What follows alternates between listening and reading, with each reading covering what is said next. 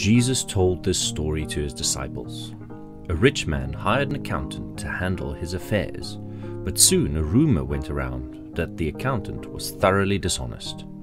So his employer called him in and said, What's this I hear about you stealing from me? Get your report in order, for you are to be dismissed. The accountant thought to himself, Now what? I am through here. I haven't the strength to go out and dig ditches, and I'm too proud to beg. I know just the thing, and then I'll have plenty of friends to take care of me when I leave. So he invited each one who owed money to his employers to come and discuss the situation. He asked the first one, How much do you owe him? My debt is 850 gallons of olive oil, the man replied. Yes, here is the contract you signed, the accountant told him. Tear it up and write another one for half that much. And how much do you owe him? he asked the next man. A thousand bushels of wheat, was the reply. Here, the accountant said, take your note and replace it with one for only 800 bushels.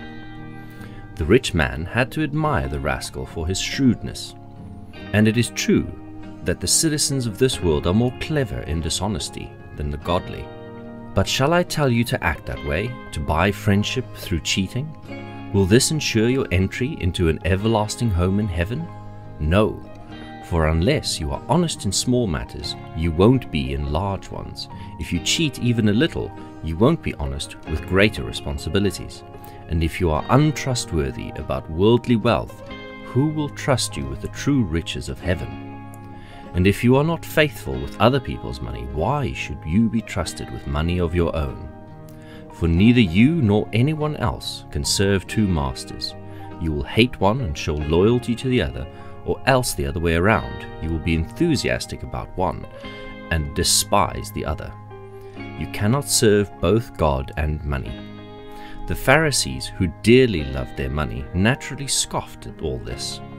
Then Jesus said to them, you wear a noble, pious expression in public, but God knows your evil hearts.